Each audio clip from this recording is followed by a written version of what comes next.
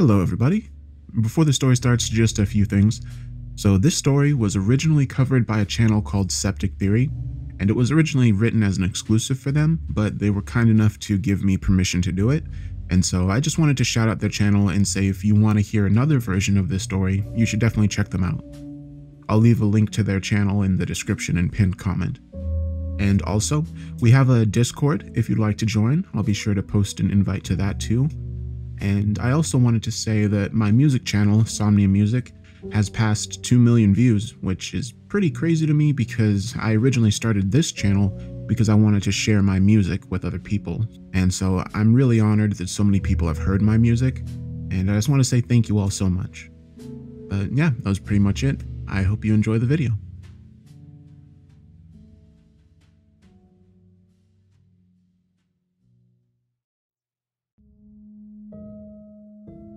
Over the last couple of weeks, I've had a number of well intentioned people in my general orbit comment that they've noticed a large uptick in the amount of alcohol I've been consuming. That's a fancy way of saying I've been drinking myself into a stupor every night. Now, I can't say that they're wrong. I also can't say that their concerns aren't valid. I also can't say that I'm not drinking enough daily to drown a fish. You know what I can say, though? I can look you right in the eye and say with absolute certainty that if you ever have to find out what's in the dark waiting for you like I did, you'll be inclined to knock back some shots too. There are two things you need to know right off the bat about how this all started. The first is that my father was the head of a very prestigious crime family. By prestigious, I mean that anybody with half a brain was afraid to cross it. Since I'm not an idiot, I won't be providing either his name or the name of his, uh, shall we say, business venture. The second thing is that I never got involved with his dealings, not at any point in my life. My mother, bless her soul, made sure of that. I never had a desire to be a part of that world anyway. I'm sure the money would have been appreciated, but when you grow up hearing stories about people that never got to enjoy the fruits of their labor because of the dangers associated with working for my father, you understand that there are better ways to support yourself. The problem, at least in my case, is that there are other folks out there that couldn't care less about the personal choices that you've made. This was a point that was made to me rather violently one Friday afternoon. One minute, I'm walking down the street through my supposedly safe neighborhood, and the next, I'm being snatched by two thugs that could be best described as living mountains. The smaller, and I use that term loosely, of the two shoved a gloved hand over my mouth and they carried me into the back of a waiting van with no effort. A gag was shoved into my gullet and a hood was thrown over my head. There was no way to know how much time passed when the van finally came to a stop. It had definitely been a while, I heard the van's back door open, and a moment later, I was being pulled out of the vehicle. The hood was removed. I gratefully breathed in the air through my nose. Standing in front of me was a woman about six inches shorter than me. She seemed even smaller with the two giant men flanking her, and the gun holstered around her waist said louder than words that this was a woman that both demanded and deserved respect. I felt the blood drain out of my face as I took a quick look around and found that we were standing in a cemetery. The woman explained to me that she and her associates were employees of a certain business rival of my father's. Her employer had come to the conclusion that it was time for my father to retire and that part of his retirement plan should be to give up his territory. At the same time, her employer didn't want to get blood all over the streets, it was determined that the best way to make the transfer of power nice and clean was to abduct me and use me as a bargaining chip. She turned and started walking across the cemetery.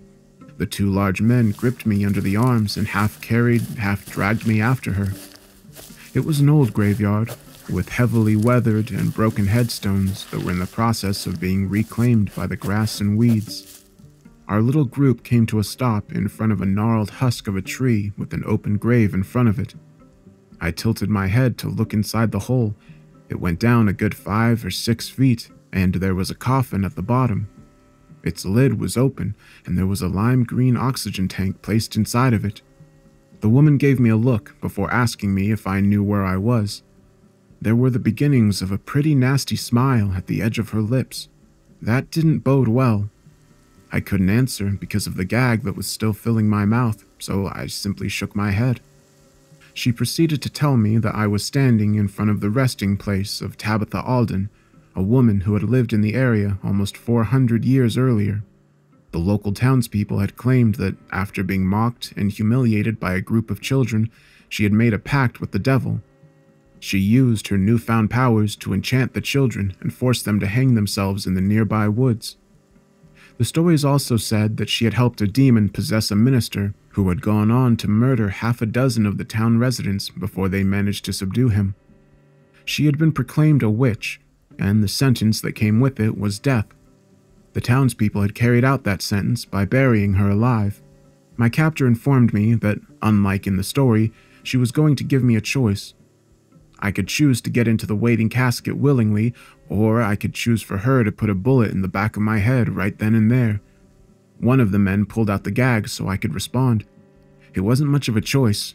I picked the casket. As I slowly lowered myself into the coffin, I was careful to avoid stepping on the oxygen tank. Like I said earlier, I'm not an idiot.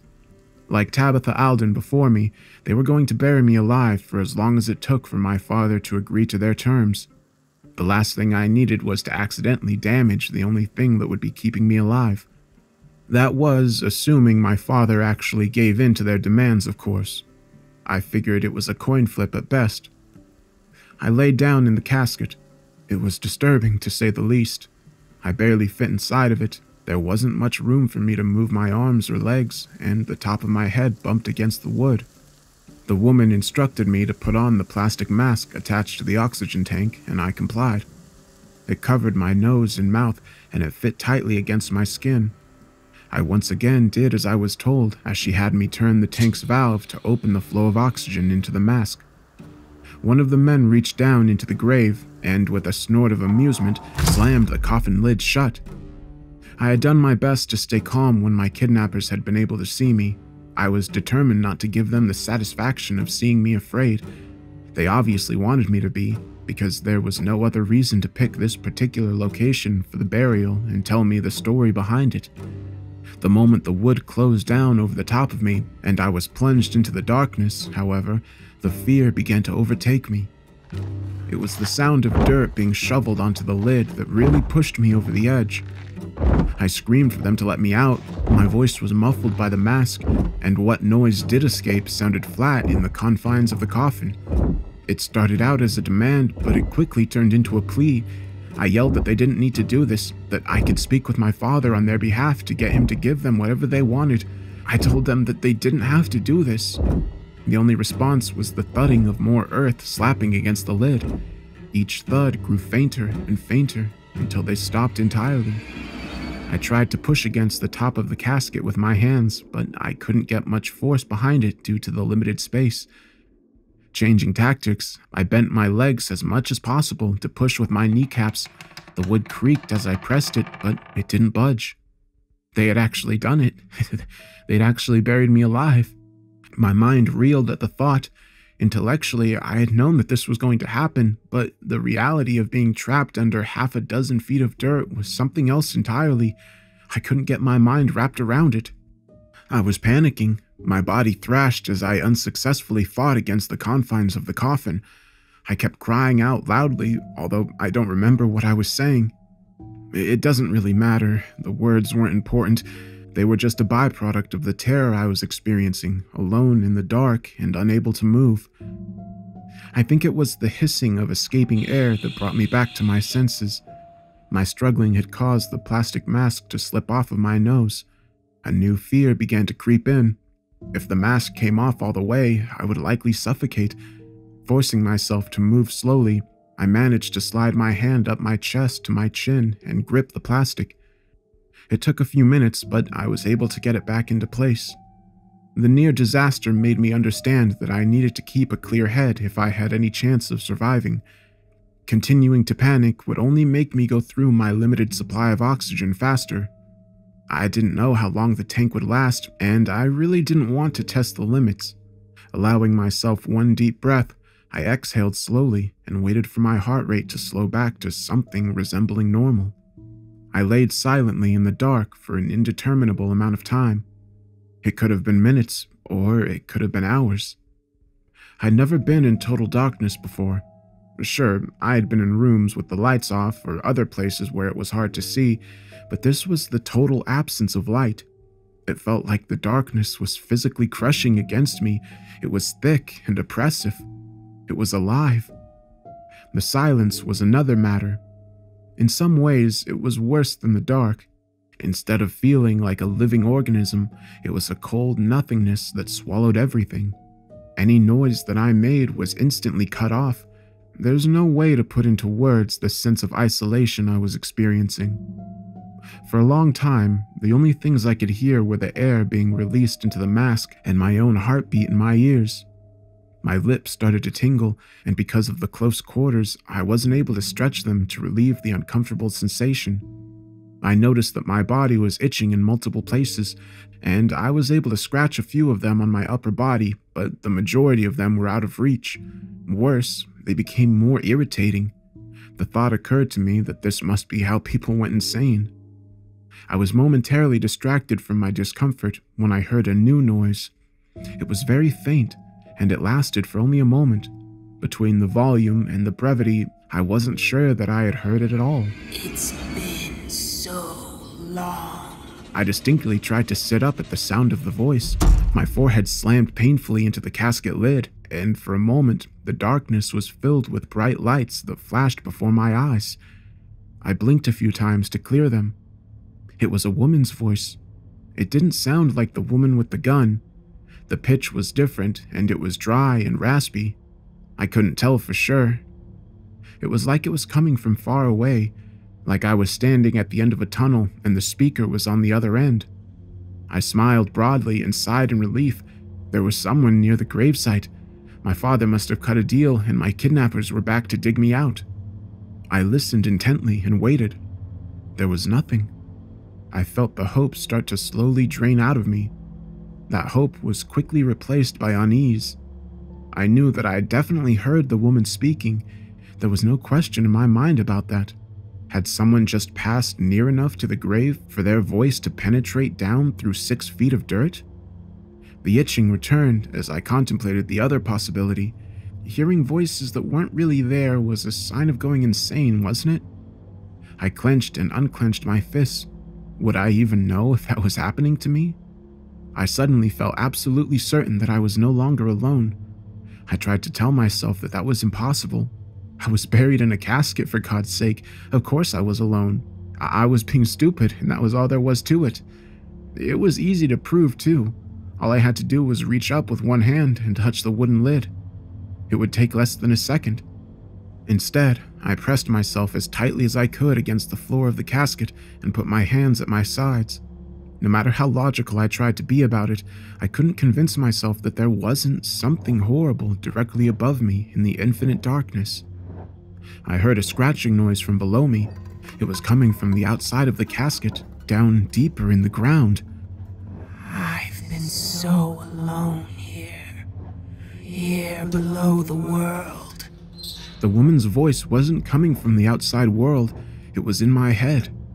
The blackness above me shifted it wasn't anything that I could see or hear. I couldn't explain how I knew it happened, but it did. The scratching grew louder. It was still below me, but it was slowly getting closer. I thought about what my kidnapper had said about where I was being buried. She had told me that the coffin was above a witch's grave. I had dismissed that as a mere scare tactic, but I was starting to believe that there was something to what she had told me. A chill ran down my spine and I shivered. The scratching drew even closer. Let me show you. I felt tiny spots of cold against my forehead. It was like icy fingers being pressed against my head. The darkness erupted in a red light, and my eyes opened wide as images flashed before them. I saw a woman with long dark hair walking through the woods. She was wearing a gray dress with a matching bonnet.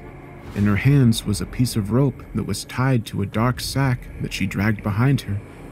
It looked heavy, but she didn't seem to be bothered by the weight.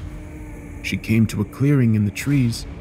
There were stone slabs and monuments that formed a ring, and in the center of the ring was a raised platform made of rock. She dropped the sack in the center of the platform before untying it. There was a moan from inside the bag, and the small hand of a child reached out through the opening. My vision blurred. When it cleared, I was looking at the same woman standing in front of a small house with wooden sides and a thatched roof. Just beyond the cottage was a wide river that raced into the distance. She was surrounded by dozens of people dressed in shabby clothes and holding large torches. They were pointing and yelling at her. They leveled accusations at her that she was a witch and that she had defiled their town. The woman tried to reason with them, but when it became clear that it wasn't working, she shrugged and smiled wickedly. She raised her arms, and the river rose up into the air and diverted course toward the gathered mob. The water slammed into them, rushing over them as they tried to break free. When the river retreated back into the banks, most of the people were left dead or dying in the mud. Everything went blurry again, and moments later, I was looking deep into a pit. The woman was lying at the bottom of it, thick iron chains wrapped around her body. Men were using ladders to exit the hole, and after they were all out, the ladders were pulled up after them. As a haggard looking priest loudly recited prayers, the men began to shovel large mounds of dirt back into the hole. The woman screamed obscenities at them as they worked. Soon her shouting stopped as she became covered in soil. The men continued their task as the sun began to set over the horizon. I was suddenly back in the darkness. I gasped as I released the breath I didn't know I was holding. Below me, the scratching was louder and closer. I would have been questioning my sanity if the time for that hadn't long passed. Sanity had gotten off the elevator at the ground floor. Down here in the basement, there was only the void and the nightmares that dwelled inside. Tabitha Alden was free of the heavy chains she had been wrapped in, and she was clawing her way up through the earth towards me. Maybe she was still alive somehow, or maybe death simply wasn't enough to stop her. It didn't matter. All that mattered was that she was coming, and there was nothing that I could do about it. Don't be afraid. There's plenty of room for two. Manic laughter filled the void. My terror got the best of me, and I began to kick my legs to strike the side of the casket as I screamed incoherently. In that moment, my rational mind was gone, and in its place was only primal instinct. I could hear the digging below me even over my screeching. The rhythm had gotten faster, as if it was more eager now that it was getting closer. It took a huge amount of effort, but I was able to take back control of myself and quieted down. The scratching sounded like it was only feet below me now. I was hearing something else as well. At first, I didn't notice it over the echoes of the fading laughter, but eventually, it was loud enough for me to detect it. It was a faint metallic jingling coming from up above. It sounded vaguely familiar, but I couldn't quite place it. The witch must have heard it as well, because the digging stopped and everything was silent except for that noise. I could feel that the presence inside the casket with me, which I was now convinced was the spirit of Tabitha Alden, had turned its attention upward. The temperature inside the coffin began to rise. She was angry, and her rage was radiating off her spirit in waves of heat. It doesn't matter. They're too late. The scratching began again, but this time it was more frantic than it had been before. It took me a moment to process what she had said. Once I did, things clicked into place and I felt a small glimmer of hope. The metal jingling was the sound of a shovel striking dirt. My kidnappers had returned and were beginning to dig me out.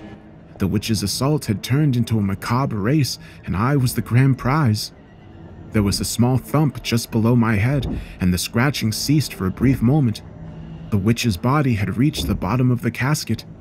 I could actually feel the fingers scraping against the wood as it started to crack and splinter. The boards were slowing her down, but they weren't going to stop her for long. The darkness above me didn't seem quite as complete as it did just minutes earlier. The shovels were close enough for me to hear each scoop as they cleared away the soil. The witch made a sound like a growl. It was filled with frustration and desperation. The soft hiss of the air in my mask stopped. The oxygen tank had run out of air. That probably should have concerned me, but I figured that my fate was going to be decided one way or another before I would have a chance to suffocate. I had a new and more immediate problem to deal with anyway. The temperature in the casket had risen so much that it was starting to burn. I felt like I had a sunburn across my entire body, and the pain was slowly increasing as the shovels drew closer. Not having any other choice, I gripped my teeth and tried to relax as much as possible. My head moved down about an inch as the first of the wooden boards broke away. The witch's spirit laughed in satisfaction. I quickly lifted my neck so that the back of my head was no longer touching the coffin floor. I was horrified by the prospect of her fingers coming into contact with me. A shovel struck the bottom of the casket lid. There was a shout from above, and I could hear more of the dirt being quickly removed. At the same time, a second board snapped. Too late. The third board shattered, and I felt fingers grab the back of my head. They were freezing cold against my burning skin. I felt them flex as they dug past the hair into my flesh. My mouth opened wider than I would have thought possible, and I screamed wordlessly. I clamped my eyes shut as the casket lid was thrown open. The presence was gone. The fingers were no longer gripping me, and I was once again alone inside the wooden box. One of the large men that had initially taken me pulled me out of the grave and set me down on the cool grass. My eyes gradually adjusted to the light, and I was able to open them again. I had never seen a sight as welcome as the faces of my kidnappers. The exchange went off without a hitch. My father had promised to give up his territory in exchange for my safety, and he was a man of his word. After a brief handshake between him and his now former rival, I was handed over, and that was that. My kidnapper's employer was now significantly wealthier and, more importantly, had a stranglehold over the city's organized crime. I think my father was secretly happy about the overall outcome. He had been thinking about retiring for quite some time, and now he was able to do that while guaranteeing that his employees would be taken care of. Besides, he had his big stacks of money to cry into if he ever missed the life of a crime boss. As for me, I got a parting gift. I had come out of the casket physically okay. My skin had been red from the heat, but I hadn't suffered any lasting burns. When a doctor had looked me over, I hadn't told him what had happened, and he said he thought the odd redness was from hypoxia. Apparently, a lack of oxygen can cause your skin to change color, anything from blue to red. Weird, huh? Mentally okay? Not so much. A few days after my ordeal, I started to hear it. It was the same scratching and clawing noise that I had heard coming up towards me as I laid in that casket. Instead of coming from below, though, now it was in the back of my head. I could hear it scratching against the inside of my skull. I tried to ignore it at first. I tried to convince myself that it was just some kind of PTSD and that the sounds only existed in my imagination.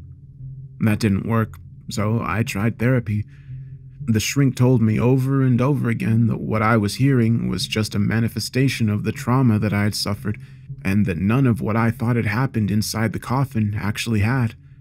His words rang pretty hollow. At 3 a.m. on a cold November morning, I had woke up standing in front of that gnarled dead tree marking the grave of Tabitha Alden.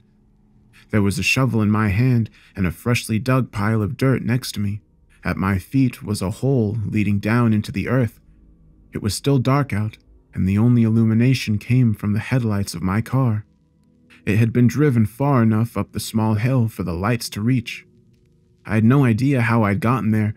I didn't know the how, but I was pretty sure I knew the why. The witch was in my head. She waited until I fell asleep and marched me back to her grave like a puppet to dig up her body. I got in my car and started driving back home. I passed by a bar on the way, and deciding if there was ever any time that I needed a drink, it was now, I pulled the car into the parking lot and went inside. I ordered the strongest drink the bartender had and downed it in one swallow. That was when I figured out that drinking helps with my little problem. It stops the scratching noises, and I haven't had another sleepwalking incident since I started getting plastered on a nightly basis. I guess my brain's no use to anyone when it's turned to mush, not even a witch. There's only so long that I can keep this up, though. The way I'm going now, if Tabitha Alden doesn't get me, my liver will. I'm going to have to sober up soon, which means I'm on borrowed time. There won't be room for two in my head much longer. And I'm the one that won't be staying.